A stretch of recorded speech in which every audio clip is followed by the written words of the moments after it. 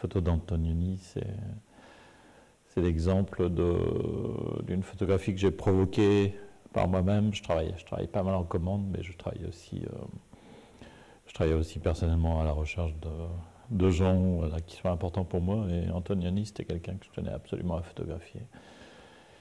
Et donc, mais finalement, j'ai réussi à transmettre cette envie à, un journaliste de Libération, du journal, du journal Libération, Philippe Azouri.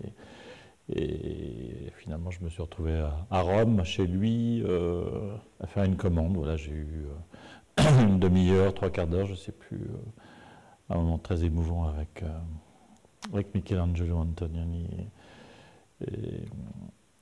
Était ça a été très difficile d'entrer en contact avec lui parce qu'il était à cette époque-là sur une, sur une chaise. Il, avait eu un AVC, donc il était tétraplégique. Mais sa femme, sa femme était toujours proche de lui. J'avais quelques difficultés à, trouver mon cadre. Juste à un moment, Enrica, sa femme m'a proposé, et elle a mis sa main, elle a, proposé de lui, redresser le visage parce qu'effectivement, il avait tendance à, s'effondrer. Elle a mis ses mains comme ça sur le visage, lui a redressé le visage, et a tenu son épaule. Et d'un seul coup, euh, enfin, il y a une sorte de frisson quoi, qui, est passé. Sur cette séance, j'ai dû faire comme, comme toujours, je fais toujours. Euh, soit une, euh, un film, un rouleau de 12 poses ou, deux. Deux. Après, euh, soit, on dure, soit ça dure deux jours, soit il faut s'arrêter très vite. Enfin, pour moi.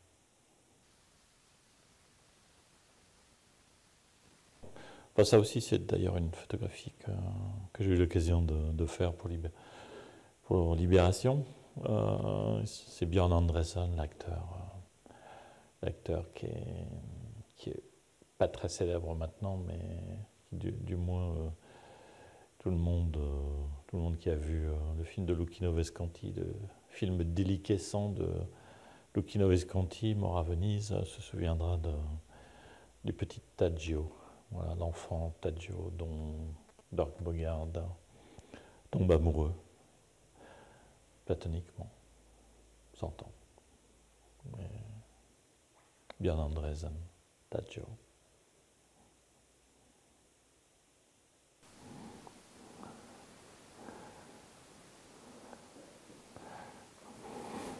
Claude Chabrol, je l'ai photographié dans, dans, sa cage d'escalier. Euh, C'était Place des Vosges à Paris. Dans son, son, appartement qui était vraiment l'archétype de, de l'appartement bourgeois très chargé, je n'arrivais pas à, trouver un endroit où je puisse euh, je puisse euh, travailler. Donc je l'ai sorti sur, sur son palier, et là c'était, il y avait les murs, euh, les murs, les murs blancs comme ici, et c'était éclairé par euh, la lumière du jour, très belle lumière du jour qui arrivait par, qui venait de, qui venait du jardin. Et, on a commencé, on a commencé à bosser. Et, puis il me demandait toujours qu'est-ce que, qu'est-ce que je voulais. Puis sa spécialité à Chabrol, c'est de dire euh, toujours, euh, moi pour les médias, je, fais, je fais à peu près tout ce que vous voulez. Vous me demandez de, me mettre une plume dans le cul, je le fais. Donc il, disait ça. Et, ça m'a fait, ça m'a fait marrer qu'il me dise ça. Et j'ai tellement rigolé que lui, pareil, il, était, il est parti là. Moi, j'avais. Et je sais pas, j'ai appuyé euh, un peu malencontreusement, ce qui explique ce, bouger, ce bouger qui est assez inhabituel euh, dans mes photographies.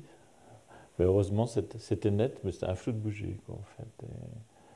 il y a cette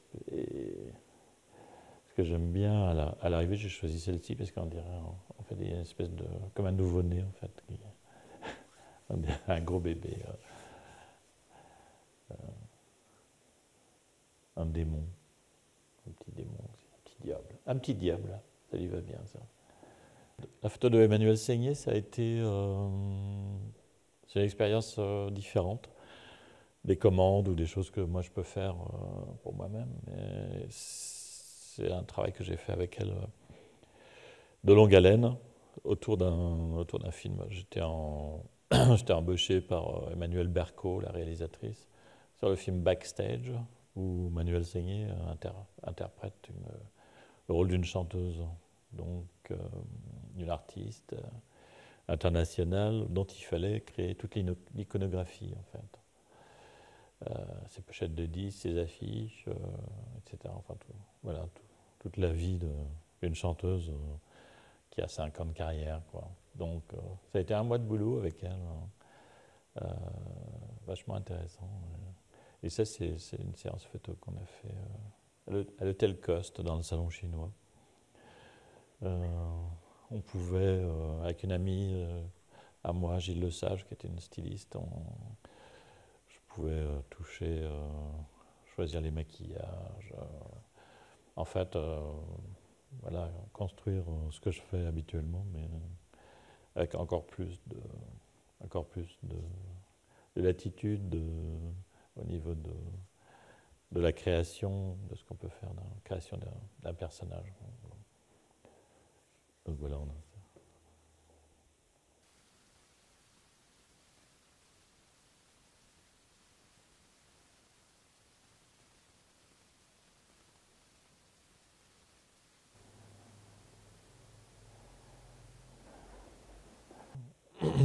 Alain Bachung, euh, à l'opposé de, ce qu'on a vu euh, tout à l'heure, c'est une commande qui, porte sur un temps assez long, puisque on a passé deux, deux après-midi ensemble.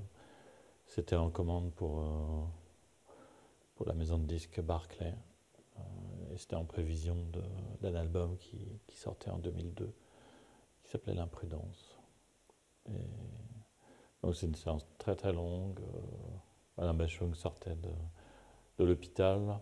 Il avait été très malade euh, déjà, donc il y a 12 ans.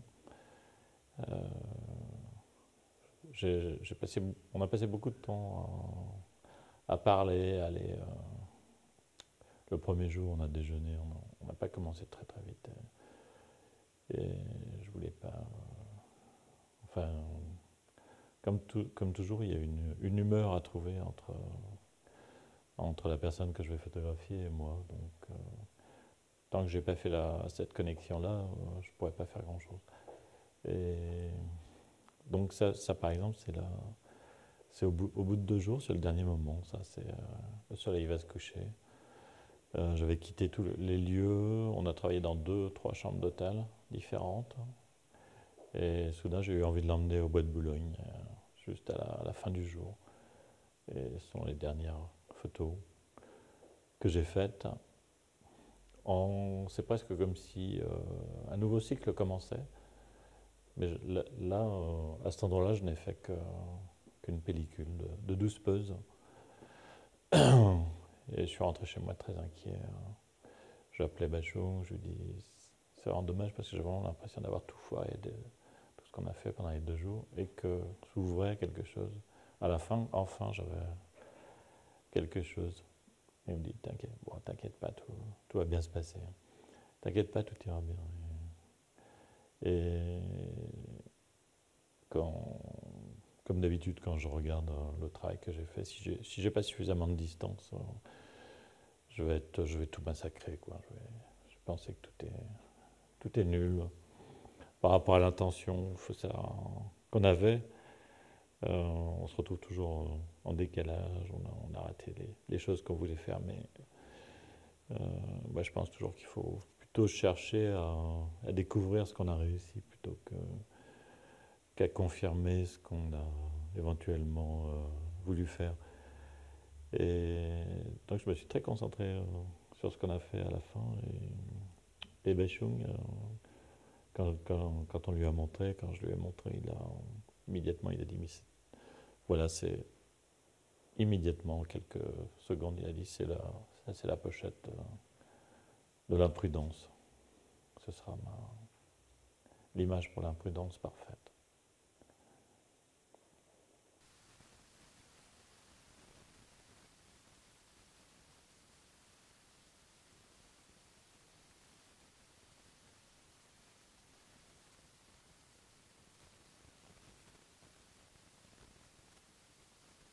Bah oui, cette, fête de Jean-Luc Godard, elle a été euh, réalisée euh, encore une fois pour Libération, et celle-ci à Libération même, puisque Libération, les, locaux de Libération sont dans un ancien, dans un ancien euh, parking.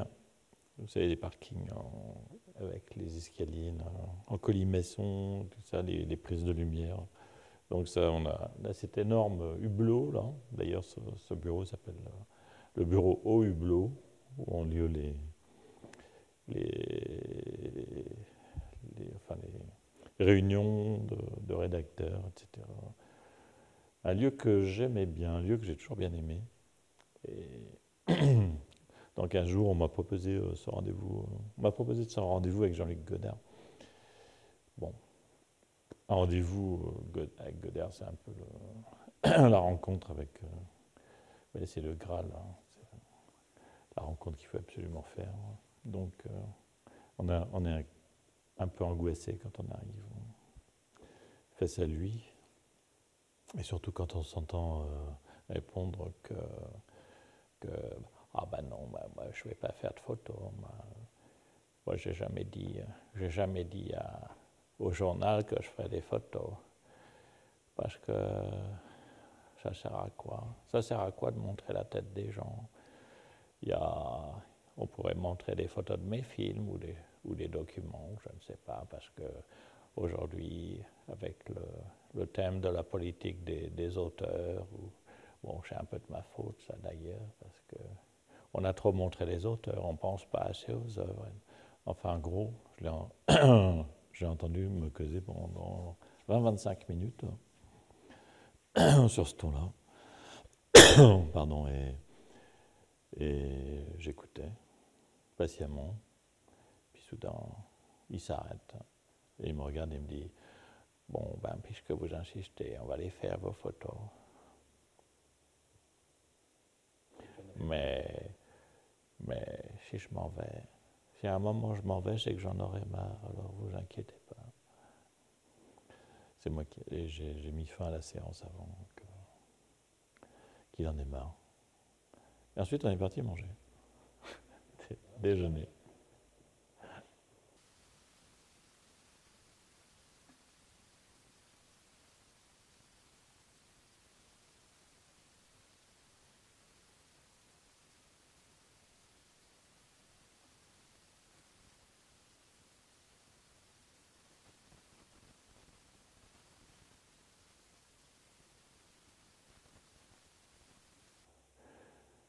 Ben, les, Oscarax, euh, les Oscarax, c'est toujours problématique, les rendez-vous avec lui. Bon, c'est quelqu'un qui refuse, euh, qui n'aime pas, pas poser, euh, ce que je comprends parfaitement. Donc il n'y a quasiment aucun rendez-vous euh, photo avec lui. Euh, à part, ça peut arriver qu'il change d'avis soudainement. Moi, ça m'est arrivé deux fois, par exemple, de le photographier Léos Carax. Et, ça, c'était euh, un rendez-vous, enfin une commande, c'est une commande pour Télérama. Je crois que c'était à Cannes. Enfin, la, photo n'a pas été à Cannes, mais c'était pour un film qui présentait à Cannes il y a, deux ans, 2011. Et, et j'ai, là, par exemple, j'avais eu un rendez-vous, enfin, il m'a donné un rendez-vous avec lui euh, en terrasse, à la terrasse d'un bar qui était à côté de chez lui. Donc, je devais avoir rendez-vous vers 19h, quelque chose comme ça. Et puis, euh, et puis il avait l'air un peu, enfin, il avait l'air inquiet, à l'idée de faire des photos, pas vraiment à l'aise. euh, je lui ai montré des choses que je, que je fais. euh, J'ai toujours des, petits tirages avec moi euh, pour montrer aux gens aussi, pour, euh, pour les faire un peu rentrer dans, dans mon univers. Et, il a, puis il a commencé vraiment à s'intéresser parce que c'est quelqu'un qui est passionné par l'argentique. euh, notamment son premier film, par exemple, a été tourné en, en HP5. euh, il a fait vraiment c'est une pellicule qui est utilisée seulement pour la photographie. Lui, il l'a utilisée euh, pour tourner son film, je ne sais plus comment ça s'appelle, Boy Meets Girl, c'est ça, Boy Meets Girl. Donc, et là, il me dit, bah, voilà, j'ai tourné le dernier film. Le dernier film, j'ai tourné en numérique, mais j'arrive pas, j'arrive pas à m'y attacher complètement à cette image. il me manque quelque chose, il me manque le négatif. Et je lui dis, ah oui, bah, oui, je comprends tout à fait, parce que moi, quand je fais du numérique, c'est exactement la même chose. Je, me retrouve très difficilement attaché à une image si je n'ai pas de négatif. Et, là, je lui dis, je ne sais pas si vous avez vu, mais dans une interview, Godard, euh, récemment, euh, disait qu'il avait enfin trouvé la raison pourquoi lui aussi ne, ne se sentait pas, euh, enfin, avait aucun attachement, aucune affection pour le, numérique. Et, donc Godard dit, oh, je vais me retrouver encore à, imiter Godard. Excusez-moi. Et Godard dit, l'autre jour, j'ai trouvé en lisant, en lisant Kafka, le, journal de Kafka, à un moment il dit, euh, à un moment il dit, je sais comment déjà, ah oui, à un moment, il dit, à la naissance, Dieu, Dieu nous donne le positif, à nous de construire le négatif.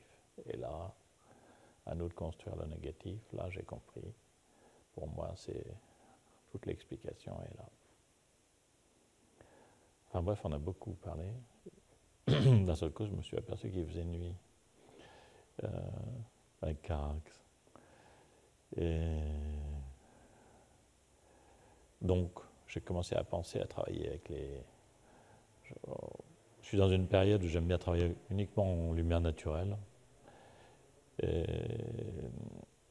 je voulais travailler avec les réverbères, mais ça ne marchait pas, c'était un peu trop vertical. Donc je l'ai emmené, euh, on est retourné juste à côté de chez lui, je l'ai mis à côté d'un mur blanc, et je lui ai demandé de s'allumer une clope, comme il n'arrête pas de... C'est euh, absolument naturel pour lui. Et voilà, il y avait du vent. Donc j'ai vu, euh, après l'avoir observé, j'ai vu que ses mains euh, servaient de, réflecteur pour la lumière de l'allumette, etc. C'est une lumière très puissante, euh, très ponctuelle mais très puissante. La lumière d'une allumette. Et ça a été fait très rapidement. Donc, on a baissé une dizaine de minutes.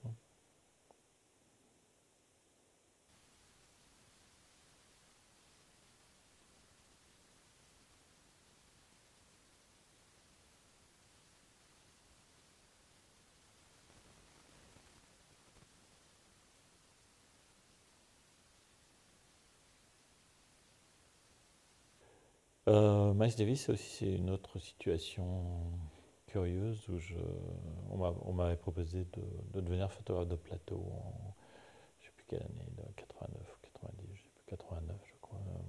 On m'avait proposé de devenir photographe de plateau sur un film où tournait Miles Davis. Et comme je, rêvais de photographier Miles Davis, j'ai seulement accepté ce boulot, ce job pour, faire ce portrait de Miles Davis. Il se trouve que c'est un, un, boulot que j'aime pas du tout faire, car on a, l'impression de gêner tout le monde. Euh, aujourd'hui, plus personne, ni le producteur, euh, ni le réalisateur, euh, ne pense à donner du temps à un photographe. Donc il faut toujours le quémander, je déteste ça. il y a encore très peu, très, très peu de metteurs en scène qui accordent du temps à un photographe de plateau dans les années 50, 60. Euh, c'était un, travail à part entière qui, au fur et à mesure, évidemment, de plus en plus, on a pensé, euh, voilà, il suffit d'appuyer sur le bouton et voilà, c'est fait. Euh, donc aujourd'hui, ils se retrouvent souvent dans la situation où ils ont terminé le film et puis ils se disent c'est bête ça, on n'a pas pensé au, au, photo, de plateau. bon, j'ai essayé euh, tant bien que mal de me glisser dans, cette peau. C'était pas évident, d'autant plus que Miles Davis est, une personne euh, euh, très lunatique. en plus, moi je suis blond et il était plutôt très raciste. donc à chaque fois, à chaque fois qu'il me voyait arriver, non seulement il me disait pas bonjour, mais parfois il me brandissait sa canne d'un geste de, défiance. Allez-vous-en. Bref, je me voyais mal euh, parti pour, euh, pour, euh, pour faire un portrait de lui. Et plus ça allait, plus, en même temps, plus, plus la photo que j'avais envie de faire de lui se cristallisait, en fait. Et un jour, on s'est retrouvé dans une salle de concert à Paris au New Morning, tous les deux, tout seuls. Je ne sais, pas, sais pas pourquoi. Moi, j'étais en train de, remballer du matériel. Lui, il était abandonné dans un coin. Et je me suis approché de lui avec mon réflexe, un flash, et, prêt à faire euh, ce que j'avais à faire. Arrivé à deux mètres de lui, euh, il soulève ses lunettes noires et il me dit euh, Qu'est-ce que vous voulez faire? Alors je lui dis, un portrait. Il me dit, mais, you know, you know how much money you have to pay to take pictures of me. Vous savez combien il faut payer pour faire des photos de moi? Euh, Je dis non, euh, 5000 dollars. 5000 dollars. Éclair de lucidité, je lui dis, mais monsieur, ah, Monsieur Davis, vous méritez beaucoup plus d'argent que ça quand même. Et elle me dit, ah ouais, vous avez raison. Alors pour vous, ça va être gratuit. Merci.